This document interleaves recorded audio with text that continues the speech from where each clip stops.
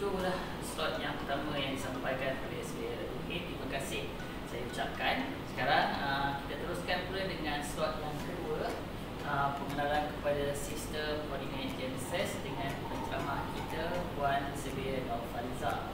Dipersilakan Puan. Apa itu koordinat?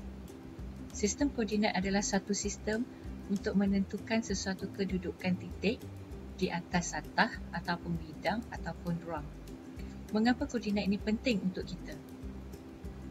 Maklumat koordinat adalah penting untuk kita supaya uh, supaya maklumat yang kita perolehi dapat dijadikan sebagai panduan uh, dalam kerja-kerja pengukuran ataupun dalam memulakan sesuatu aktiviti. Jenis-jenis koordinat terdapat tiga jenis koordinat iaitu koordinat geodetik, koordinat planar dan celestial. Koordinat geodetik terbahagi kepada dua iaitu koordinat geografi iaitu yang berasaskan kepada latitude, longitude dan height, koordinat Cartesian x, y, z. Koordinat planar iaitu koordinat dalam bentuk Cassini dan RSO dan koordinat celestial lebih kepada koordinat astronomi. Sistem koordinat geografi merupakan sistem yang menggunakan garis lintang, latitude dan garis bujur, longitude. Sistem koordinat geografi ini bertujuan bagi penentuan lokasi asas umpamanya dalam bidang navigasi dan pengukuran.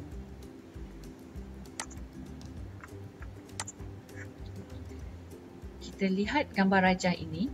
Ini merupakan gambar rajah uh, menunjukkan uh, lokasi bagi latitude dan juga longitude. Garisan latitude diukur daripada 90 darjah utara sehingga 0 darjah ekuator ataupun daripada 90 darjah selatan sehingga 0 darjah ekuator. Manakala bagi uh, garisan longitude ke uh, dia dikira daripada 180 darjah uh, barat dan timur dan barat dan timur of Meridian Greenwich. Ketinggian ataupun H jika diperhatikan di sini uh, cerapan daripada GNSS uh, koordinat yang kita perolehi adalah berdasarkan daripada ellipsoid okay, ataupun dikenali sebagai ellipsoidal height di mana geode tidak boleh dihubungkan secara matematik maka satu permukaan anggapan telah diwujudkan dengan mempunyai hubung kait yang jelas. Permukaan rujukan ini dikenali sebagai ellipsoid. Seperti mana yang saya sebutkan tadi, pengukuran GNSS uh, nilai yang kita perolehi berdasarkan kepada ellipsoidal height. Dengan adanya nilai latitude, longitude dan height maka kedudukan geographical bagi satu-satu titik boleh ditentukan di atas globe. Koordinat ini juga lebih dikenali sebagai koordinat geodetik di dalam bidang geodesi. Sistem koordinat planar. Apa yang dikatakan dengan sistem koordinat planar?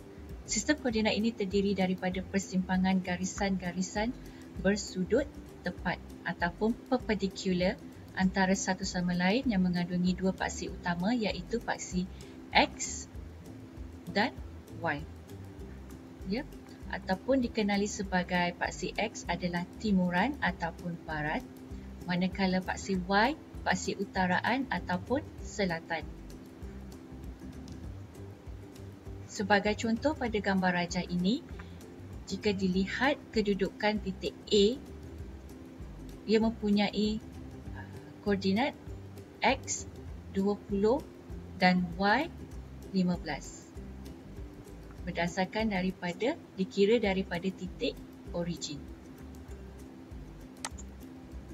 Sistem koordinat planar digunakan di dalam peta yang berskala besar.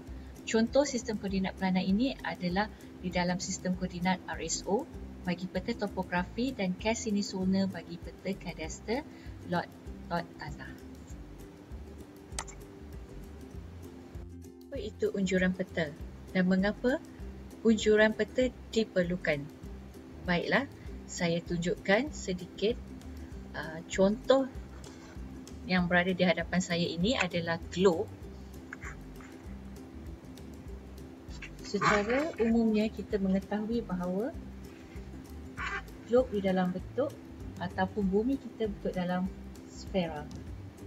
Jadi agak mustahil untuk kita petakan uh, bumi kita yang mempunyai sistem koordinat tiga dimensi ke permukaan rata.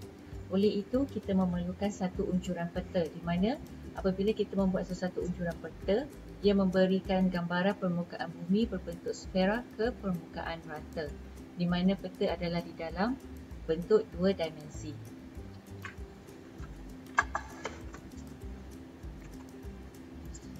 Ini yang saya maksudkan sebentar tadi iaitu daripada bentuk permukaan sfera diunjurkan ke bentuk peta dimensi 2D.